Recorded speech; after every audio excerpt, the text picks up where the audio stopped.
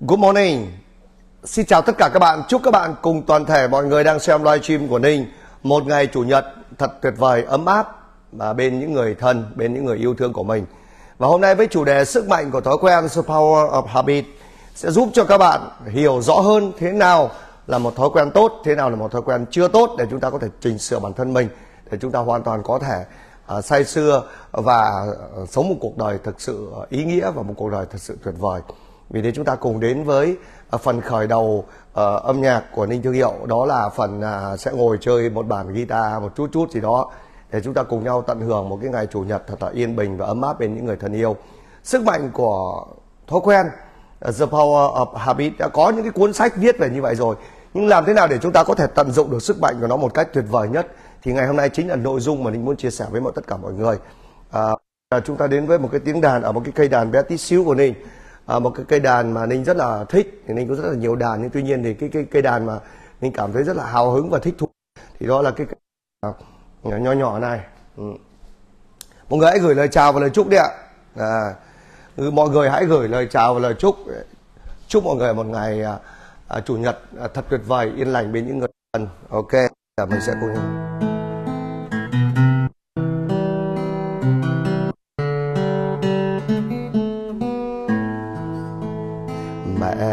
Làm bậc thang để con bước lên đỉnh cao.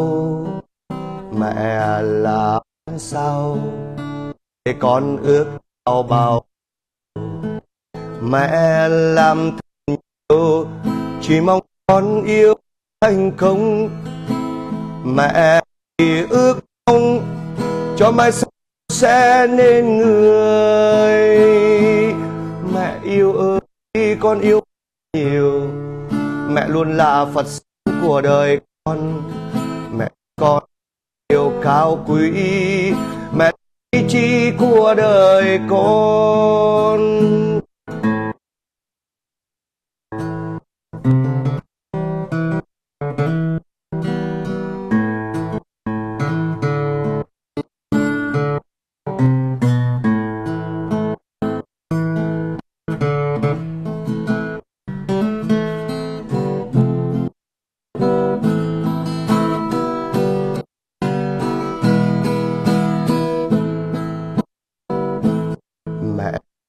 Làm bọc.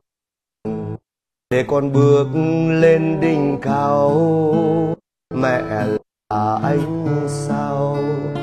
Để con ước ao bao điều mẹ làm thật nhiều. Con yêu thật đúng, mẹ chỉ ước mong cho mai sẽ người.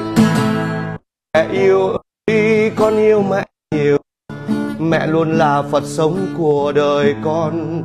Mẹ cho con tình yêu cao quý. Mẹ là lý trí của đời con. Mẹ ơi mẹ ơi, con yêu mẹ nhiều lắm, mẹ ơi. Làm con luôn thấu hiểu.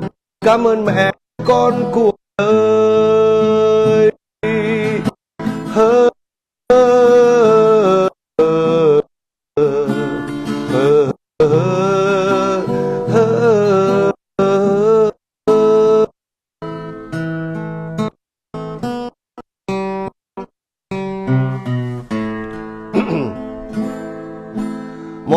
nội dung mà khi mà linh ờ, live stream ấy thì uh, thường thường ấy nếu mà nói live stream về uh, bất kỳ nội dung gì uh, nội dung riêng về mẹ thì là một cái tình cảm rất đặc biệt. Riêng live stream về mẹ thì luôn luôn là một cái chủ đề mà làm cho linh cảm thấy rất là có cảm xúc. Không tại vì không phải là tại vì bây giờ thì mẹ đẻ của linh không còn nữa à, nhưng mà tại vì à, những năm tháng mình lớn lên trong sự vất vả được mẹ chăm bẵm nuôi chiều rồi rồi một ngày nào đó hết sứ mệnh làm mẹ thì mẹ đi sang một thế giới khác. Khi đó thì mình thực sự thấm thía thấm thía cái tình mẹ. À, còn nhớ à, ngày đầu tiên đi xa gia đình xa bố mẹ nghe bài à, lòng mẹ của nhạc sĩ y vân lòng mẹ bao la như biển thái bình. À, lúc đó thì mới là một chàng trai 18 tuổi lần đầu tiên được đi xa gia đình. À, cũng háo hức lắm nhưng mà khi nhớ về gia đình nhớ về mẹ thì chao ôi không cầm được nước mắt và nước mắt cứ tràn ra. Và cứ thương mẹ thương mẹ vất vả còn nhớ hình ảnh của mẹ. À, à, mẹ thì à, rất là hay ra đồng để à, cuốc sới mặc dù nhà ninh thì không làm nông nghiệp nhưng mà cũng có mấy cái vườn nên suốt ngày mẹ cứ loanh quanh ở vườn. Và mỗi lần nghĩ về mẹ thì cảm thấy rất là thương.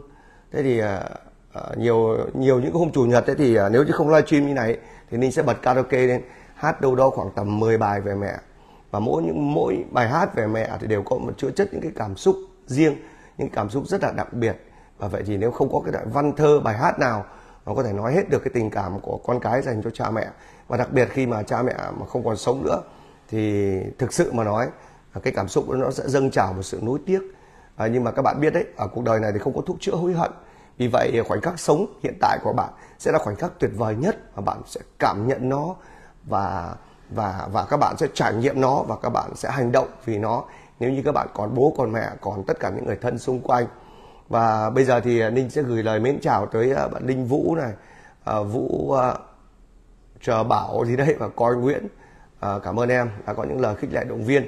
Sáng hôm nay thì ninh thương hiệu sẽ đến với mọi người với một cái uh, cuốn sách với một cái chủ đề khá là hấp dẫn đó là the power of habit nghĩa là sức mạnh của thói quen chúng ta sẽ tìm hiểu xem là à, ở trong cuộc sống này chúng ta đang duy trì những thói quen thực sự có lợi không?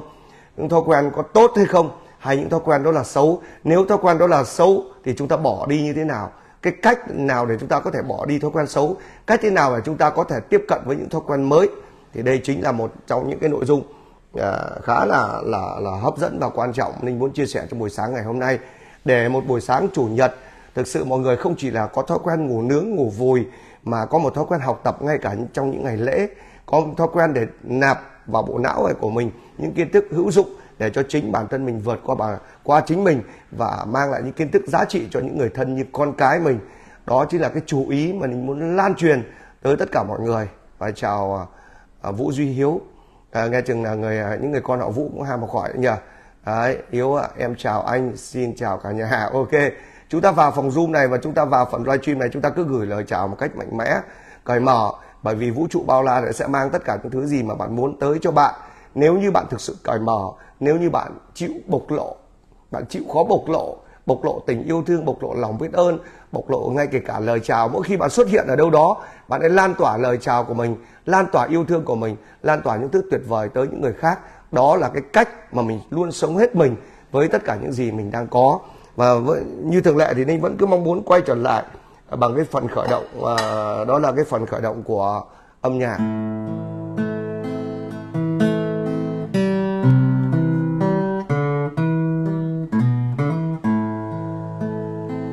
Bài hát về mẹ rồi bài hát về chị rồi bài hát về vợ. À, chào uh, vũ thắng chào vũ thắng.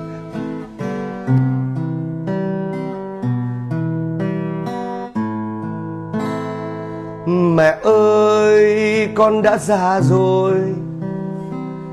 Con ngồi như mẹ khóc như trẻ con.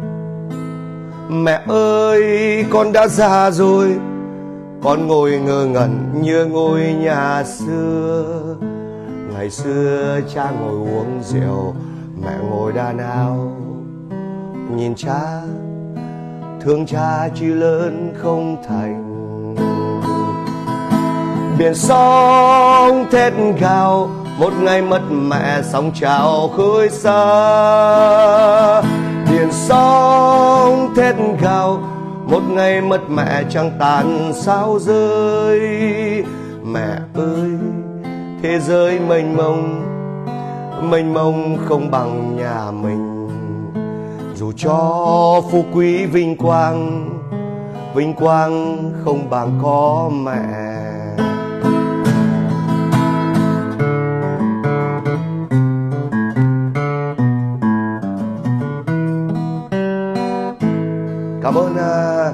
Thắng ạ. À, đã gửi những lời chúc luôn mạnh khỏe đến tinh ok.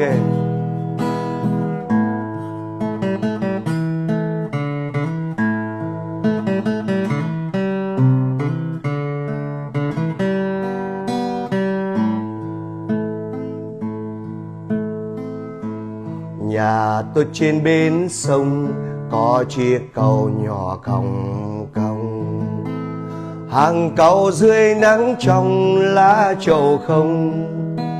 Chị tôi trông dễ thương bán rau chợ cầu đông. Ya chị tôi muốn lấy chồng.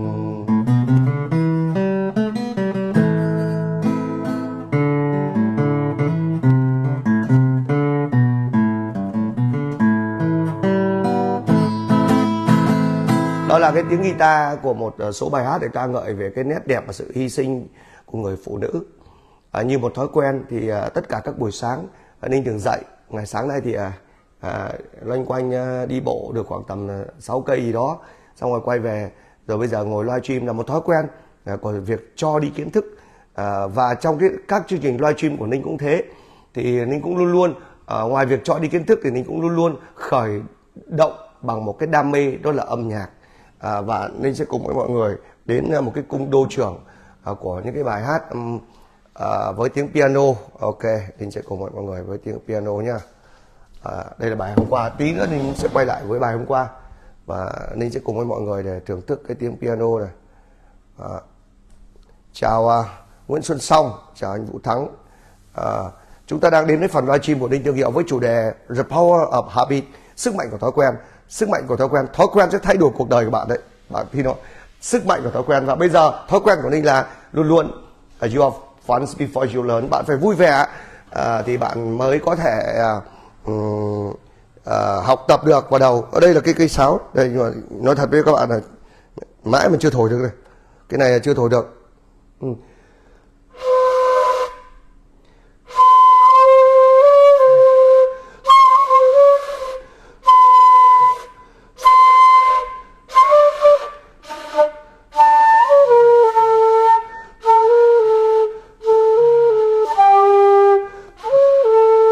đấy thì thổi nó kêu được như thế thôi nhưng còn lâu mới thành bản nhạc. Nhưng mà nói cho các bạn biết nhé rồi sẽ thổi được. Nếu như mình mình quyết tâm rồi mình sẽ thổi được. À, chào ngọc loan à, chúc em chúc anh một ngày cuối tuần tốt lành. Ok cảm ơn em. Anh chúc em luôn luôn có nhiều niềm vui và nghị lực trong cuộc sống. À, tận hưởng ngày cuối tuần bên những người thân yêu của mình. À, đây cuộc sống này luôn luôn được phải chinh phục giống như một nhà cụ. Chơi nhà cụ gì nó cũng sẽ có cái khó của nó. Đây cái này mới mua về còn lâu mới mới thổi được bài hát, bây giờ chỉ thổi nó kêu đã tốt rồi, không kỳ vọng nhiều. Ok, chỉ cần thổi kêu thôi.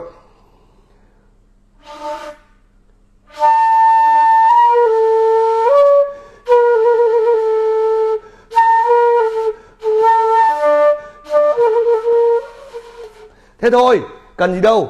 Ở cái này thổi, nhưng mà cũng chia sẻ với các bạn ấy. mình mới mua một cây sáo bầu. Đây, cây sáo bầu, mang ra cho, thổi cho mọi người biết cây sáu bầu này thì nó nó nó nó nó kiểu của dân tộc.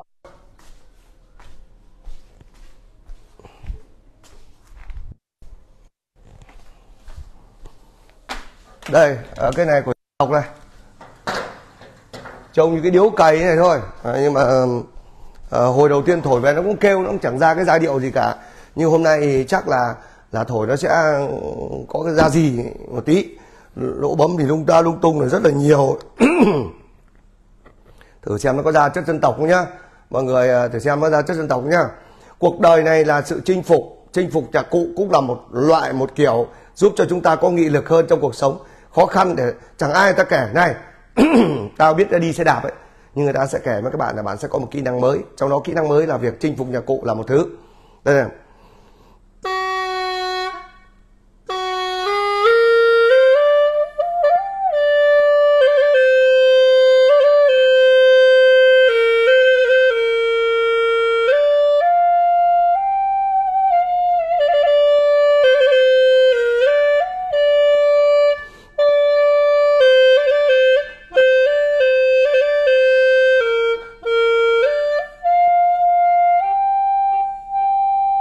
Đấy cái này nó là một cái tiếng khen nhưng mà à, lúc nào đó mà đi ngồi ấy, mà thổi à, à, ở trong rừng ấy mà ngồi với à, một người nào đó mà cũng yêu âm nhạc xong rồi chúng ta tận hưởng cái tiếng này nó nghe rất hay ví dụ như bài nhạc cánh hoa rơi trích trong tứ tấu phong hoa tuyết nguyệt thì nó có là tèn tèn tèn tèn tèn tèn tèn tèn tèn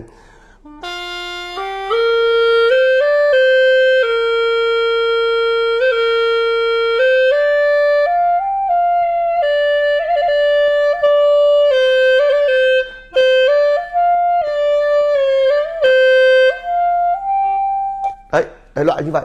Vậy thì nhạc cụ cũng giống như vậy trong cuộc sống. Nếu như thói quen đi chinh phục những kỹ năng mới là một thói quen cần phải có thì bạn cần phải thiết lập thói quen đó. Và bây giờ thì vẫn như thường lệ ninh vẫn muốn dành tặng cho các bạn à, một à, loạt mát sắp những ca khúc viết ở cùng đô trưởng và chẳng còn ngần ngại gì ta hãy cùng di chuyển cam tới một cái khu vực mà ninh rất yêu thích đó là cái chiếc đàn piano. Ok đây. Piano. Còn đây nha à, xin chào ngọc loan. Cảm ơn ngọc loan. Chào em vũ uh, uh, em nam nam. Uh, vũ năng nam. Người em của ninh đây. Chào uh, phạm hương. Chào tất cả bạn đang xem livestream của ninh. Nếu các bạn đang rơi vào một uh, tình trạng bế tắc hoặc bạn uh, đang rơi vào trạng thái hoang mang hoặc là giảm năng lượng thì bạn chỉ cần xem kênh của Ninh. Xem một vài video của kênh của Ninh thì năng lượng của bạn sẽ lên rất cao. Bởi vì đây là nơi truyền năng lượng cho các bạn. Truyền cho các bạn các con đường để các bạn đi và đây là một thứ mà thường xuyên Ninh thu nạp một thứ thức ăn uh, rất đặc biệt và đến từ music ok are you ready? Tình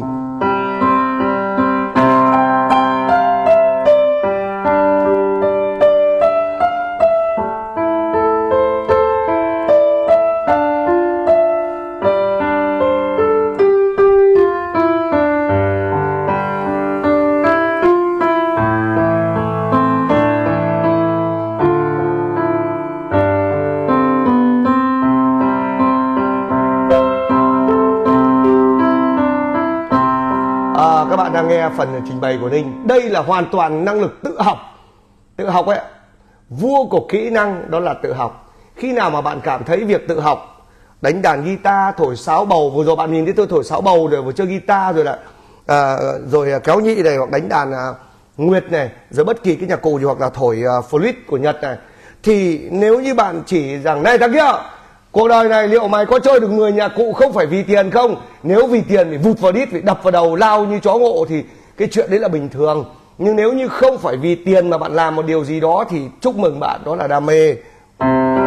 Mời các bạn nghe bài quê hương tuổi thơ tôi. Tôi yêu quê tôi, xanh xanh lũy tre. Quê hương tuổi thơ đi qua đời tôi quanh co sông thu êm đềm. Thả diều đã bóng nắng cháy giữa đồng.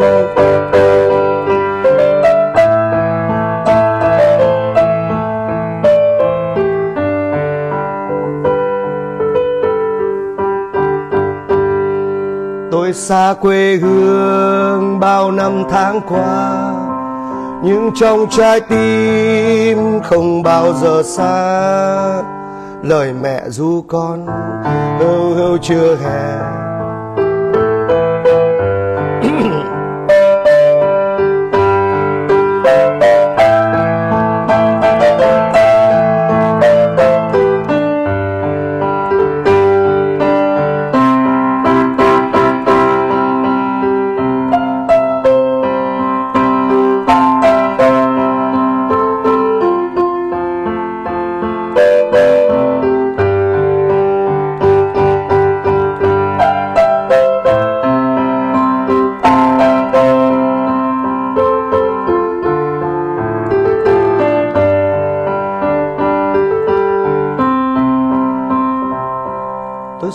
quê hương. Tôi xa quê hương. Bao năm tháng qua, nhưng trong trái tim không bao giờ xa. Lời mẹ ru con hưu hưu chưa hè, mùa lụt nước lũ bắt cá giữa đồng.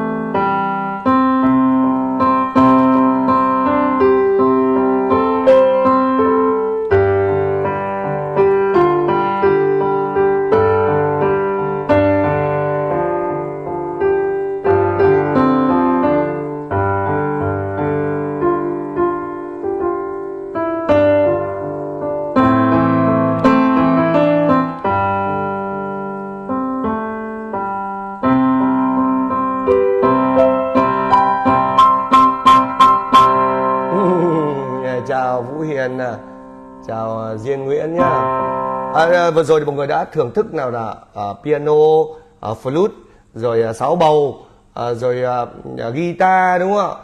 Giờ Ninh sẽ đến với mọi người một cái tí đàn nguyệt thì nghe cho nó phê đi. À, sau rồi chúng ta mới đến nội dung. À, đây chúng ta đến với đàn nguyệt.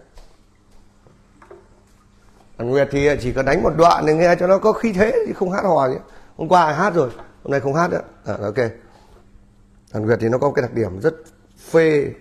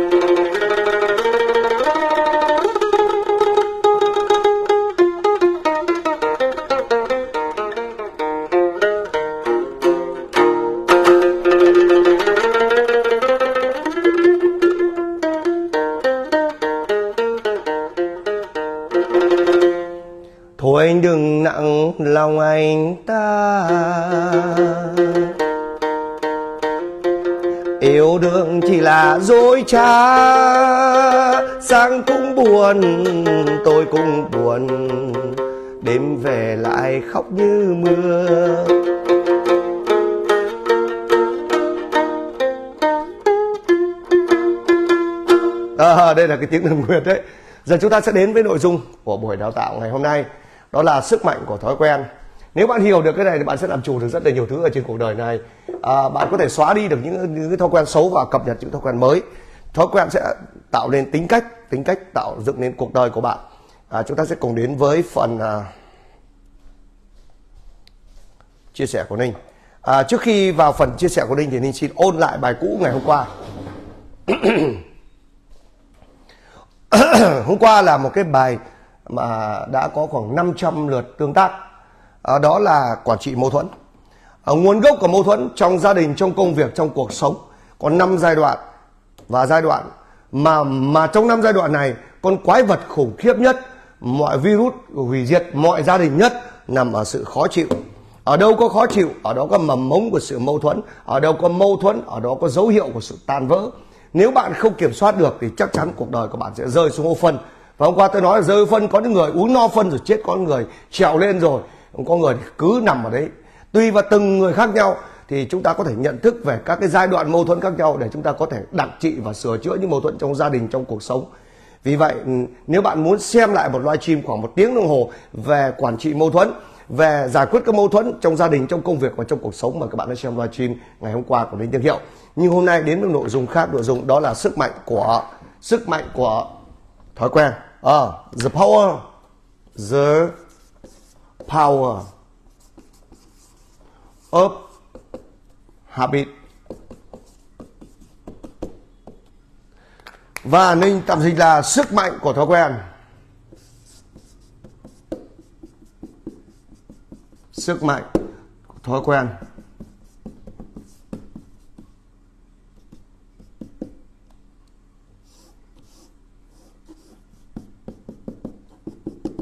Wow, sức mạnh của thói quen. Vậy trong cuộc sống này có những thói quen có giá trị có những thói quen vô giá trị nhưng có những thói quen có lợi có những thói quen có hại. Ừ. phân loại ra thì rất là nhiều. Nhưng đầu tiên chúng ta đến để hiểu thế nào là thói quen đã. Mà thói quen thói quen là gì? À, việt màu đỏ đi cho nó đầu gấu đi nhỉ. Thói quen.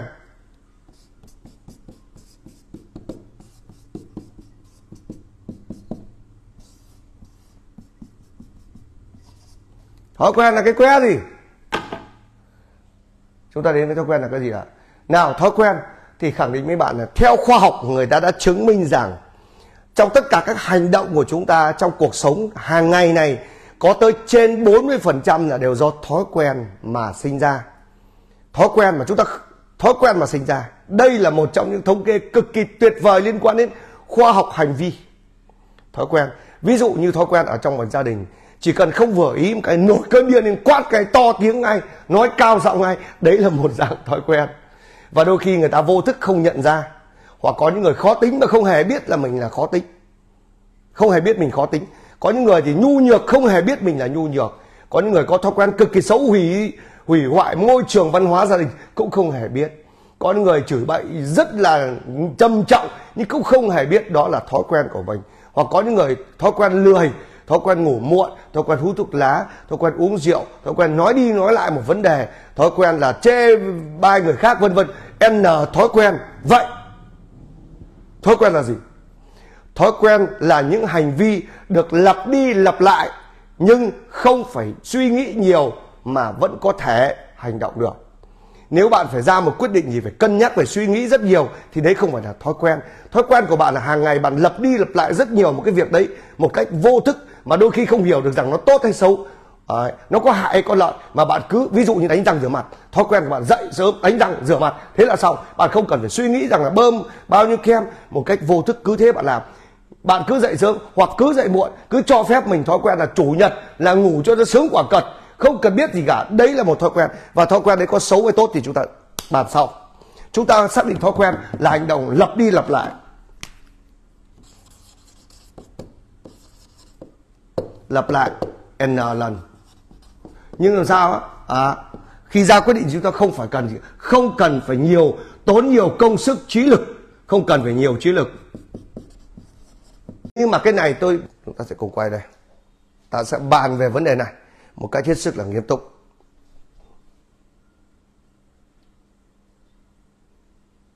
Ok, đây là góc quay mà ninh à, sẽ cùng các bạn bàn bạc về việc này. Vậy thì thói quen của bạn, bây giờ bạn hãy cho tôi biết, tôi phân loại thói quen à, có lợi và thói quen có hại.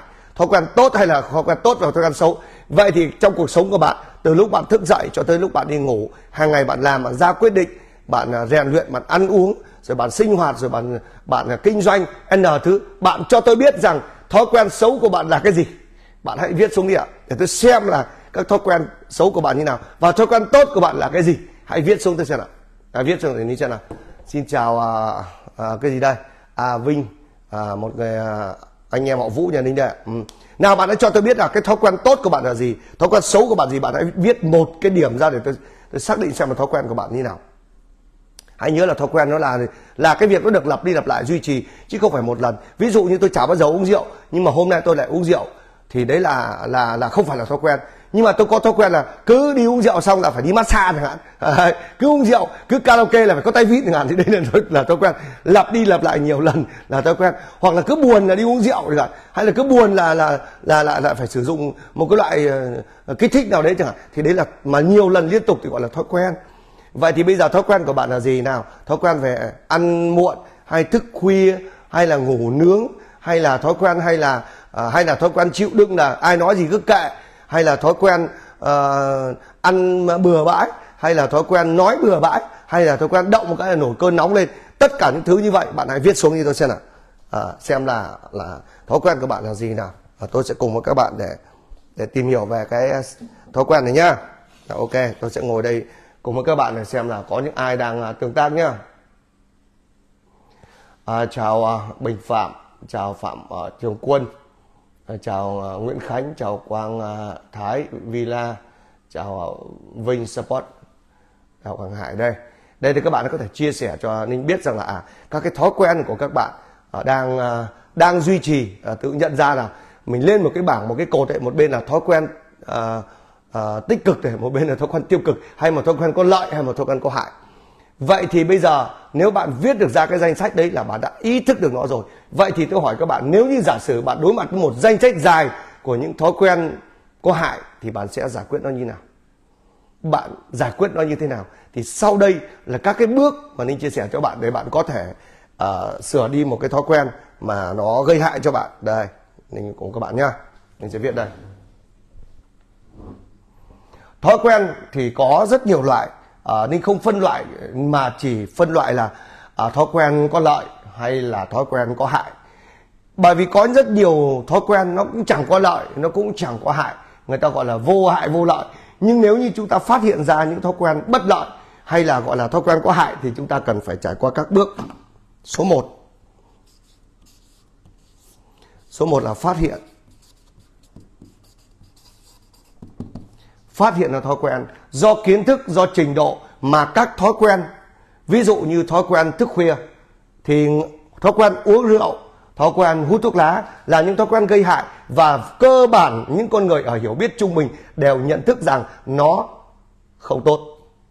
Nhưng bạn có tin không? Có rất nhiều những thói quen, có rất nhiều những thói quen mà bạn không hề nhận thức được rằng nó tốt hay xấu tôi nói ví dụ như này, ở gần đây thì rất nhiều người có các cái bài chia sẻ ở trên mạng xã hội, nào là uống nhiều nước thì tốt, nhưng có người thì bảo uống ít nước thì tốt, phải uống bao nhiêu là tốt. Để có một nhận thức về uống nước đúng thì bạn cần phải có kiến thức của những người có chuyên môn để chia sẻ cho bạn với cơ thể của bạn thì nước bao nhiêu là đủ. Vậy thì thói quen, có thể có những thói quen gây hại, có thể có những thói quen mà có lợi và có những thói quen vô hại. Tôi nói đơn giản như này, nếu như bạn làm ở một cái lĩnh vực về chăm sóc sức khỏe hoặc là chăm sóc về da chẳng hạn. Nếu mà bạn không có cái kiến thức để chăm sóc cho mình một cách đúng đắn thì chưa chắc bạn đã biết là bạn tẩy da chết trước hay là bạn ờ, sử dụng sữa rửa mặt trước. À, khi mà bạn không biết như vậy thì có thể những thói quen của bạn sẽ tạo ra cho bạn những cái à, gây hại cho chính da của mình. Hoặc thức khuya thì thức đến tầm nào uống nước bao nhiêu là đủ ăn hoa quả như thế nào bôi những loại như thế nào hiểu biết gì về da của mình. Và những thói quen đôi khi nó lại gây hại cho bản thân mình mà mình không hề biết. Vì vậy phải cần phải có kiến thức để nhận diện ra những, phát hiện ra những thói quen không có lợi hay là thói quen hại. Phát hiện ra những cái hại.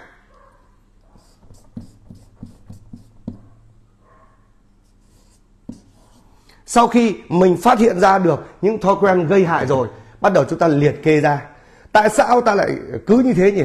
Ví dụ những người hút thuốc sẽ trả lời là à, em ấy mỗi lần em buồn ấy mỗi lần em buồn ấy là em không có điếu thuốc ấy thì thực sự với anh là em cảm thấy rất là căng thẳng em rất là buồn chán. Em chẳng biết làm gì cả nhưng các bạn có biết là hút một điếu thuốc thì nó rất là hại cho cơ thể ai cũng biết như vậy rồi. Nhưng nếu hại như vậy mà nó lại mang lại cho mình cái cảm giác sung sướng là cảm giác an bình cảm giác dễ chịu giải phóng được những cái áp lực thì ai cũng hút. Chắc chắn là như vậy. Bởi vì người ta nhìn vào lợi ích người ta có nhìn vào cái hại đâu có nhìn hại đâu nhưng người ta lại cứ gán nhãn cho cái việc hút thuốc là nó sẽ tạo ra cái gì ạ? À, hút thuốc tạo ra giảm căng thẳng giảm stress. Nhưng đó là những cái suy nghĩ hết sức là sai lầm. Bởi vì người ta quá quen như vậy rồi. Người ta quá quen là hút một điếu thuốc thì người ta cảm thấy giảm stress nhưng trên thực tế thì không phải như vậy. À, khi ta phát hiện ra được là trên thế giới này tỷ lệ ung thư phổi ở đàn ông là rất cao. Đàn ông thì có loại ung thư phổi và ung thư gan là rất là cao. Phụ nữ thì có ung thư vú ung thư cổ tử cung và khi mà người ta thống kê cái tỷ lệ người như vậy thì người ta mới xác định là nguyên nhân. Vậy thì nguyên nhân đàn ông uh, sinh ra ung thư gan và ung thư ung thư uh, họng thì uh, đến từ đâu? Ung thư phổi thì đến từ đâu? Thì đến từ việc hút thuốc lá và uống rượu.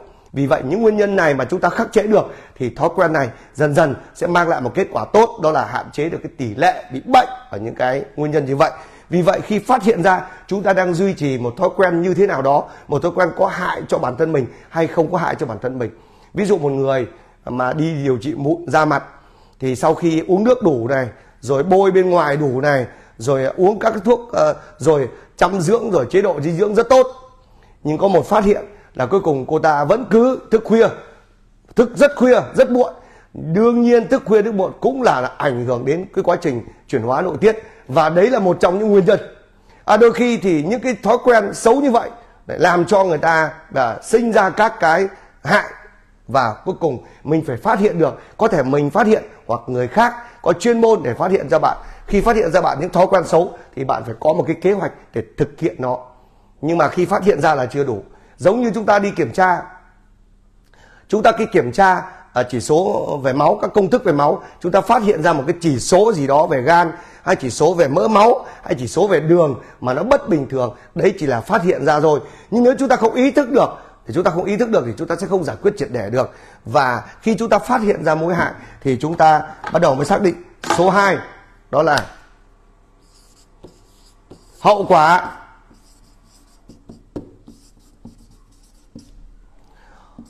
khi chúng ta phát hiện ra được những thói quen xấu gây hại cho cơ thể, thì chúng ta buộc phải xem xét nếu chúng ta cứ duy trì như vậy, thì hậu quả nó sẽ thế nào. Ở đây tôi chỉ nói luôn với các bạn là, dù là những việc hậu quả nhỏ, nhưng nếu nó kéo dài hết ngày này sang ngày khác, thì đấy nó là một vấn đề lớn mà chúng ta đang phải đối mặt. Chúng ta đang phải đối mặt. Cho nên hậu quả là chúng ta phải biết à nếu chúng ta cứ uống rượu thế này men gan nó càng ngày càng tăng. Nếu chúng ta cứ hút thuốc lá như này thì càng ngày nó càng nguy hiểm. Nếu chúng ta cứ dậy sớm ba rưỡi bốn giờ bốn rưỡi để chúng ta tập thể dục thì vào mùa đông là nguy cơ rất là cao. Nếu chúng ta cứ tắm muộn thì khả năng đột quỵ rất nguy hiểm. Nếu chúng ta cứ tăng cân thì khả năng nó rất là nhiều những cái bệnh uh, khác nó được nó bị uh, nảy sinh ra và chúng ta phải đối phó với nó. Thì đây chính là hậu quả. Sau khi hậu quả rồi gì hậu quả bắt đầu chúng ta đến bước số 3 chúng ta biết được là phát hiện ra được thói quen xấu của chúng ta đang có rồi chúng ta phát hiện ra hậu quả rồi thì chúng ta phải quyết tâm à, chúng ta số 3 là chúng ta gì ạ thay đổi chúng ta từ bỏ chúng ta từ bỏ khi chúng ta biết được là chúng ta đang có một thói quen xấu và chúng ta biết nếu chúng ta cứ duy trì thì hậu quả của nó là vô cùng nghiêm trọng vì việc tiếp theo chúng ta phải lên một kế hoạch từ bỏ cái này nó có một cái kế hoạch ấy. Bởi vì nó là sức mạnh của thói quen cho nên chúng ta chống lại sự cám dỗ. Ví dụ như này mỗi khi mà chúng ta mệt mỏi chúng ta thường hay hút một điếu thuốc hay chúng ta mệt mỏi à, chúng ta lại có thói quen chui vào trong phòng đóng cửa lại để tự kỷ. Thì những thói quen như vậy đều là những thói quen chịu đựng là những thói quen mà rồi ngày ngày nó càng ghi khắc. Ví dụ như nếu chúng ta uh, mà muốn bỏ thuốc chúng ta bảo bỏ thuốc đi bỏ thuốc đi bỏ thuốc đi ý chí chúng ta không thể thắng được đâu chắc chắn nếu ba bước này mà chúng ta làm, hoặc chúng ta mà tăng cân chúng ta bảo ơi ăn ít thôi, ăn ít, không bao giờ được đâu. Không bao giờ được đâu. Nếu chúng ta có một cái ờ, hoặc là chúng ta có một thói quen là quen có một cái người nào đó rồi ở bên cạnh, mặc dù người ta khốn nạn, người ta đều nhưng mình cũng không dám bỏ người ta, bởi vì mình có người ta ở một thói quen rồi. Thói quen rồi. Thì chúng ta đến cái bước này, chúng ta dù có phát hiện ra điều đó là xấu, dù có biết là hậu quả nó vô cùng nghiêm trọng rồi chúng ta có lên kế hoạch từ bỏ. Chúng ta cũng không thể từ bỏ được. Không bao giờ từ bỏ được. Thì à, ninh có đọc được một cuốn sách rất là thú vị. Đọc được cuốn sách rất là thú vị về sức mạnh The Power of Habit. Là cuốn sách để nó nói đến cái việc là bỏ đi một thói quen cũ thì nó có ba cái bước này. Những cái bước thứ tư là bước tối quan trọng. Nếu không có bước thứ tư này thì không bao giờ bạn có thể bỏ đi được thói quen. Bước thứ tư đó là thay thế.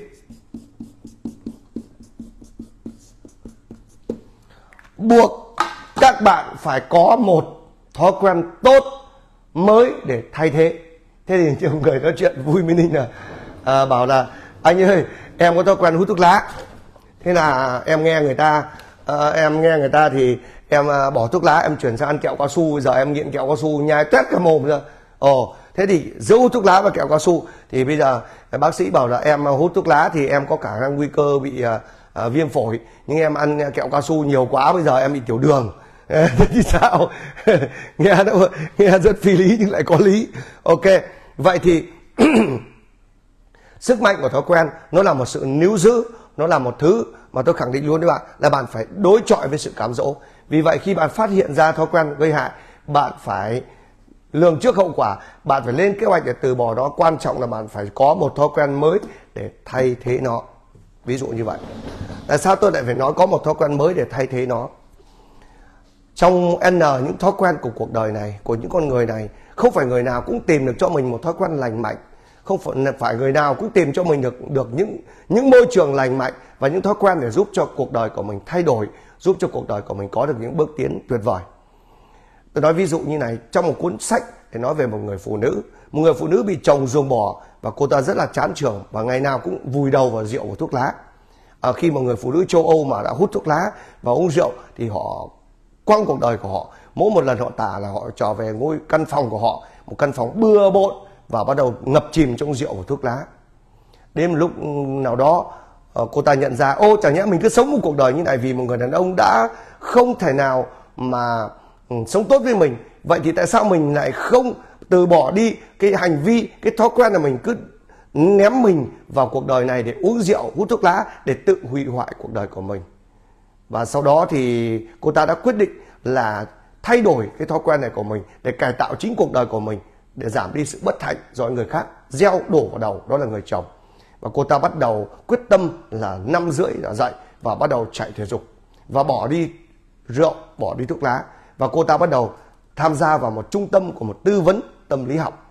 Sau một thời gian 2 năm cô đã trở thành một người xuất sắc và trở thành một người giám đốc của một trung tâm mới để chuyên môn xử lý các vấn đề liên quan tới việc từ bỏ những thói quen gây hại. Và sau đó thì các nhà khoa học đã nghiên cứu chụp não của cô và phát hiện ra một điều rất kỳ diệu. Đó là một vùng não mới có được một sự phát triển đột phá, thay đổi hoàn toàn nhận thức của cô ta về một hành vi. Đây là trong quá khứ thì đã xóa đi được toàn bộ những cái uh, thói quen hút thuốc lá, uống rượu và đã chuyển sang một thói quen mới đó là tập thể dục, chạy và học tập ngày từng ngày, đọc liên tục các cuốn sách. Giống như người Do Thái có một câu nói tôi rất là thích, đó là con người khác con vật ở chỗ là con người biết chữ. Vậy nếu như mà bạn biết chữ mà bạn không chịu đọc thì khác gì bạn mù chữ đâu. Vì vậy nếu bạn không đọc hàng ngày để có được kiến thức tốt đẹp hơn thì đó là bạn lãng phí đi một năng lực mà năng lực đó là nó tạo ra sự khác biệt giữa con người và con vật. Vì thế bạn xem video này hay bạn đọc sách hay bạn học hay bất kỳ cái điều gì bạn đưa được vào não để khiến cho bạn tốt hơn đều là cái cách chuyển hóa tốt nhất tốt nhất cho chính bạn. Và cuộc đời này chỉ mỗi một con người có một định nghĩa riêng, thành công riêng, thành tựu riêng, tốt xấu riêng. Vì thế bạn đừng cần theo đuổi ai cả, hãy theo đuổi bản thân mình để loại bỏ đi một số bỏ đi một dấu trừ là bỏ đi một thói quen xấu. Và cộng thêm một dấu cộng để cập nhật thêm một thói quen tốt mới. Vì cuộc đời này chẳng ai phải sống theo cách của ai cả. Hãy sống theo cách của mình. Mỗi một thời điểm khác nhau sẽ có định kiến khác nhau, có định nghĩa khác nhau. Khi có định kiến khác nhau, có định nghĩa khác nhau. Ví dụ, người châu á thì mình nghĩ rằng da trắng mới là ok, nhưng đối với da đen thì không phải vậy người da đen thì người ta không quan niệm là da trắng là da sáng màu là ok mà da càng tối màu càng bóng càng tốt. Đúng không ạ? Và các bạn biết cái trường phái của leola da Vinci vào thế kỷ 18 thì người ta vẽ người phụ nữ phải mũm mĩm tay phải to. Và các bạn nhìn thấy cái những cái bức tranh khỏa thân uh, trước từ thời mà mà leola da Vinci thì các bạn biết là cái đẹp ngày đó người ta phải mũm mĩm người ta phải to. Đúng không ạ? À, và còn cái đẹp ở bây giờ à, ngày xưa là phải mũm mĩm người phụ nữ là phải à, nhiều thịt nhìn bụng cũng nhiều mỡ ok thì là đẹp. Nhưng mà phụ nữ ngày nay thì không phải mặt tròn như vậy mà mặt phải vê lai phải thon nhỏ à, vai phải nhỏ xương quai xanh là phải nhô lên à, mặt nó phải như thế thì mới gọi là đẹp. Và ngày xưa thì và bây giờ vậy cái nào đúng? À, cảm ơn bác sĩ à, bác sĩ gia bảo. À, tuyệt quá anh ơi những lời động viên của bạn rất là tuyệt vời ví dụ như tiện đây nói nha khoa ngày xưa các cụ mình răng càng đen càng ok răng đen như sừng trâu mới là đẹp. Đen bóng đi mới là đẹp. Nhưng bây giờ tôi đố bạn dám làm một bộ hàm răng đen như vậy đấy, bởi vì bạn sợ định kiến xã hội. Cái định kiến xã hội là gì ạ? À? là số đông người ta cho là như vậy. Cho là như vậy. Ví dụ ngày xưa người ta định kiến là những người phụ nữ mà có chửa chưa chồng mà chửa thì người ta bôi vôi chọc đầu tháng xong giờ ấy mà chưa chồng có chửa là chuyện bình thường. Sợ nhất là về nó có chồng rồi mà không chửa được cho nên bây giờ xã hội, cái định kiến bây giờ nó cũng khác ngày xưa. Cái định nghĩa bây giờ cũng khác rất nhiều với ngày xưa. Vì thế ngày từng ngày, mà tôi nói luôn ngày từng ngày chúng ta học tập để vượt qua chính mình. Không phải vượt qua bất kỳ bố con thằng nào cả. Và với định nghĩa của riêng mình, bởi vì những người đi theo tôn giáo khác nhau, người ta sẽ có định nghĩa về cuộc đời thành công khác nhau. Những người đã kinh doanh ở lĩnh vực khác nhau, người ta cũng có định nghĩa khác nhau. Và mỗi một gia đình, ông bố, bà mẹ cũng nói về con mình, về sự tử tế là khác nhau. Vậy, bạn nghĩ đi hành vi, nó tạo nên thói quen. Thói quen nó tạo nên tính cách. Tính cách nó quyết định cuộc đời. Vậy cuộc đời bạn bạn muốn quyết định như nào? Bạn muốn quyết định mình theo đuổi những thói quen nào? Đâu là thói quen mà bạn cho là tốt, đâu là thói quen bạn cho là xấu? Đọc sách có phải là thói quen tốt hay không?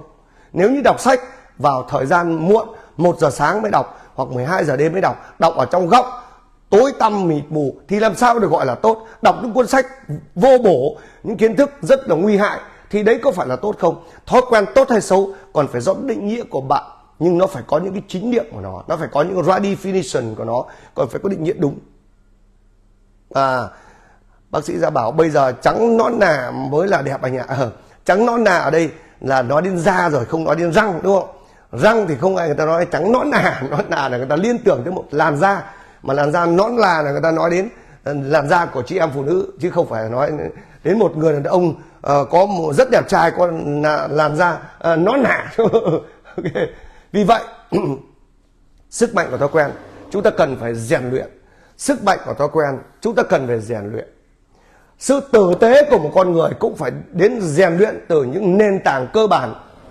Từ nền tảng cơ bản. Tôi mỗi một khi tôi đào tạo cho một uh, uh, một đứa, đứa đứa trẻ nào để trước khi đi du học hoặc sau khi du du học về tôi vẫn nói là làm một doanh nhân khi được đào tạo đi theo tôi thì muốn làm doanh, kinh doanh phải là một nhân tử tế trước. Đây là quan điểm rất rõ ràng của tôi. Bởi vì muốn kinh doanh thì phải kinh doanh trên nền tảng của sự tử tế. Vậy có bao giờ bạn hỏi câu hỏi là, ô, thế thì tử tế là cái gì? Tử tế là cái gì? Tử tế là cái gì khi mà suốt ngày kêu gào rằng, bố muốn các con tử tế, tôi muốn bạn tử tế phải chăng mục tiêu cuộc đời là sinh ra ở một kiếp làm người để người ta theo đuổi một thứ? Đó là tử tế. Vậy tử tế là gì? Ông hỏi cháu cháu hỏi ông, con hỏi bố bố hỏi con, vợ hỏi chồng chồng hỏi vợ. Bạn bè hỏi nhau vậy, mày ơi, tử tế là cái gì? Sống một cuộc đời tử tế hoặc là con người tử tế, vậy có ai định nghĩa cho tôi tử tế là gì không? Nếu không định nghĩa cho tôi tử tế là gì, thì chẳng khác gì tôi đố các bạn mua cho tôi con putuzu bạn nào có thể tìm cho tôi ở trên mạng hoặc ở bất kỳ đâu mua một con putuzu cho tôi bao nhiêu tiền tôi cũng trả, bắt tôi làm gì tôi cũng làm. Nhưng cuối cùng tất cả mọi người đều bó tay, tại vì người ta chẳng biết con putuzu là con gì. Nó ở trên trời, hay ở trong rừng, hay ở dưới biển, hay ở đâu cả. Vì con putuzu là một con rất chung chung. Người ta chỉ hiểu là một con putuzu là con ông linh thương hiệu, bịa ra cái tên vậy thôi. Còn trên đời nó chẳng có con gì tên là putuzu cả. Tôi nói ví dụ như vậy để mọi người hiểu rằng nếu cuộc đời này mà mọi người không hiểu được tử tế là gì, thì làm sao mình có thể trở thành người tử tế? Ngay kể cả Ờ, người ta định nghĩa về thành công cũng thế. Người ta lao lên như như là một mũi tên, đầu cắm vào cổ, đít bổ đôi, phọt, đít phọt ra lửa để trở thành một người thành công. Nhưng ngay khi thành công, cầm trên tay một tấm hộ chiếu được coi là thành công, thì hỏi thành công là gì? Thưa anh, thành công là nhiều tiền. Đỉnh cao của ngu. Tôi nói luôn với bạn nhé, đỉnh cao của ngu mới nói là thành công là nhiều tiền. Nhiều bao nhiêu là nhiều. Thằng có 10 tỷ thì so với thằng có 1 tỷ là nhiều nhưng so với thằng 100 tỷ thì là con mũi thằng 100 tỷ thì so với thằng 10 tỷ là nhiều nhưng so với thằng nghìn tỷ là mũi thằng nghìn tỷ chả là cái gì cả. So với thằng ờ, uh, 100 ngàn tỷ thì chả là cái gì cả. Thằng 100 ngàn tỷ chả là cái gì cả so với một thằng nó đang sống một cuộc sống bình yên. Nó bảo tao bình yên sống an nhiên tự tại tao được là tao tao sướng hơn mày có một trăm ngàn tỷ chả là cái gì cả. Ăn không ngon ngủ không yên làm việc như điên, như vậy không phải là hạnh phúc. Vậy thì mỗi một con người có những cái chuẩn mực riêng, nhưng nếu để chúng ta theo đuổi được một chuẩn mực nào đó, suốt cuộc đời này, để sống một cuộc đời có ý nghĩa, thì các định nghĩa về mặt chuẩn mực nó phải nó phải ok. Về thành công, về hạnh phúc, về sung sướng, về tử tế, về đạo hiếu, tất cả những thứ như vậy nó cần phải có những định nghĩa đúng. Định nghĩa đúng thì nó mới định hướng đúng. Định hướng đúng nó mới có được mục đích đúng. Mục đích đúng nó mới có được mục tiêu đúng. Mục tiêu đúng mới có tập hành vi đúng đấy là điều đương nhiên.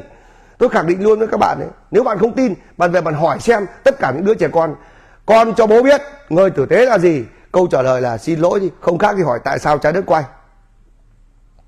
Và khi chúng không biết được tử tế là gì, thì làm sao chúng có thể sống tử tế được? Chúng chỉ biết là con muốn trở thành người tốt, vậy người tốt là người thế nào? Người tốt là người mà đi ra ngoài đường thấy người ta ngã xuống thì ra đỡ cho người ta. Để rồi ngày mai mình phải vướng vào một vụ lao lý để chứng minh rằng không phải mình là người tai nạn. Từ đấy trở đi, lòng tốt của bố mày không còn nữa.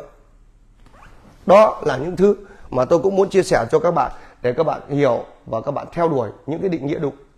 Đúng không ạ? Định nghĩa đúng. Ở đây là bây giờ ở diệm, hương, nguyện, ok. Vậy thì Ờ, chúng ta cần phải có những định nghĩa đúng. Ai cung cấp cho chúng ta những định nghĩa đúng về tử tế về thành công về hạnh phúc về đạo hiếu tất cả những thứ như vậy. Vậy thì tôi là người sẽ giúp cho bạn có được những cái thứ như vậy có được thứ như vậy một cách đúng đắn song hành với các bạn.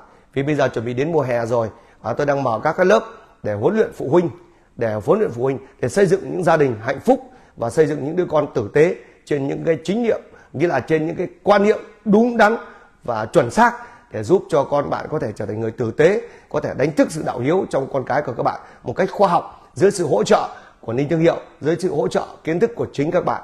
Vì vậy nếu bạn quan tâm đến các việc song hành trong suốt mùa hè này cùng với ninh ở các cái khóa học để dẫn dắt con cái các bạn để theo một cái con đường, theo những cái định nghĩa đúng từ nền tảng là một người doanh nhân thì nhân phải tử tế trước khi doanh, thì hãy liên hệ với ninh thương hiệu.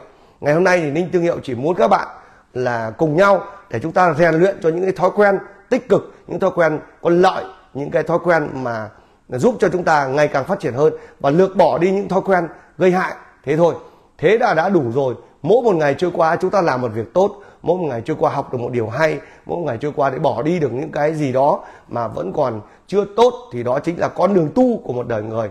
Và bây giờ là thời lượng à, của việc livestream đã sắp hết à, ninh cũng ờ, phải nói lời chia tay với tất cả các bạn để đi theo đuổi một à, một cái nội dung mà là sức mạnh của sự thói quen hay theo đuổi một cái nội dung về quản trị sự mâu thuẫn. Thì toàn bộ cái nội dung như này luôn luôn có ở trong các buổi livestream của Ninh Tương Hiệu vào các buổi sáng từ thứ hai đến chủ nhật và thường thường từ 6 rưỡi cho đến tầm 7 rưỡi.